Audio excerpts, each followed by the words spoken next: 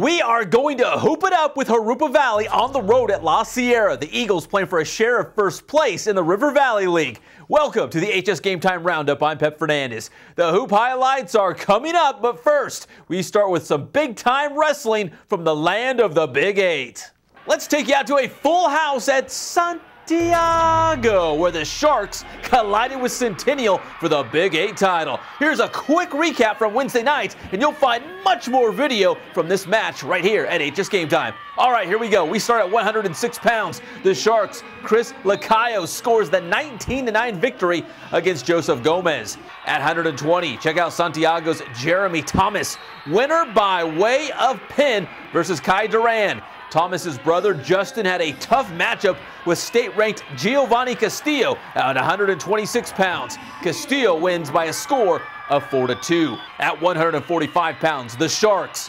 Dun, dun. Christian Pagdalau pins the Huskies Alex Gomez. Then at 152, we go to overtime, where Centennial's Richard Muniz records the gutty 4-2 victory for the Huskies at 160 pounds. Santiago's Freddy Garcia wins with a score of 7 to 5. Next up, Pork Chop. Santiago's Christian Lopez, aka Pork Chop, that's what his homies call him, comes up short in his match against Robert Romero. Another win for the Huskies there. And in the heavyweights, Centennial's Jay Cepeda wins 4-2 in overtime against Peter Arce.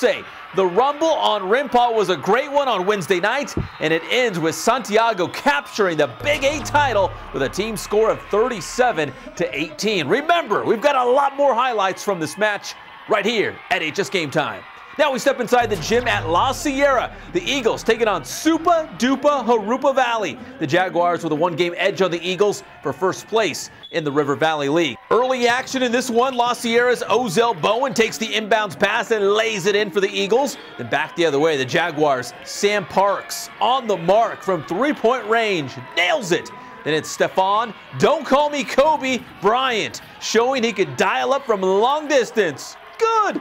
Jurupa Valley also going inside. Chris Mercader to Dylan Bowton for the bucket. But here come the Eagles. Michael Warren to Andrew Davis to Andy Shade who sinks the triple. La Sierra wins this one by one, 50 to 49 the final. So the Eagles join Jurupa Valley atop the River Valley League standings.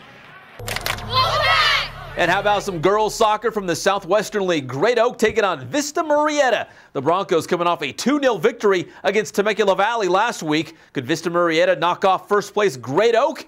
Well, not on Wednesday night at least. Sierra Phillips' goal in the first half would stand up for the Wolfpack as Great Oak wins 1-0. The Wolfpack improves to 6-0-1 in the Southwestern League. I'm Pep Fernandez with the HS Game Time Roundup.